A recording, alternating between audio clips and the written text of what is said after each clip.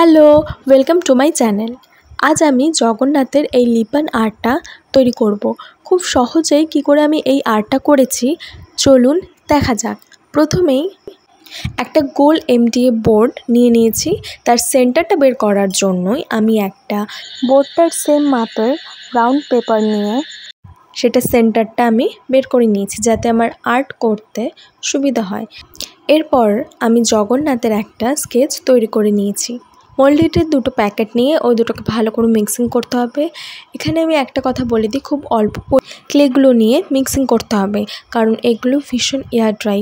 কিছুক্ষণ হয়ে গেলেই শুকিয়ে যায়, তারপর কাজ করতে ভীষণ অসুবিধা হয়ে যায়।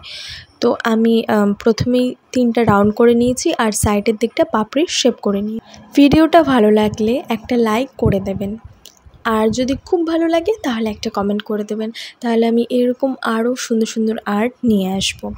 আমি এর আগে একটা লিপন আর্ট ট্রাই করেছি, যেটা কার্ডবোর্ডের ওপরে।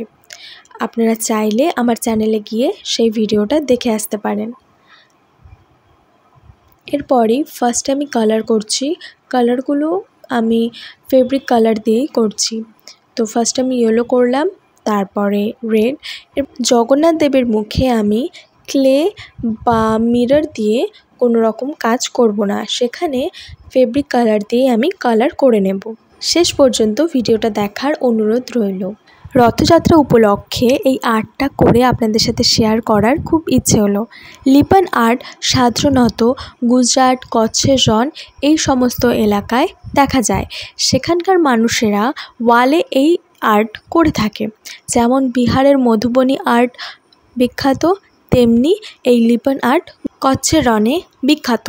এদিকে আমার আর্টও কমপ্লিট কালারও কমপ্লিট এরপরে আমি মিরর দিয়ে এই আর্টটাকে সাজাবো। লিপন আর্টের সবথেকে মজার জায়গাই হলো এই মিরর লাগানো। যেভাবে খুশি, যত পরিমাণে খুশি লাগানো যায়। আর আপনি আপনার আর্টের অনুসারে এই মিররগুলোকে চুজ করতে পারেন। ব্যাস, আমার আর্ট কমপ্লিট খুব সহজে এই আর্টটা করে ফেললাম। এমন আরও ভিডিও দেখার জন্য আমার চ্যানেলটা সাবস্ক্রাইব করে দিতে পারেন। আর থ্যাংক ইউ জয় জগন্নাথ। দেখা হচ্ছে পরের ভিডিওতে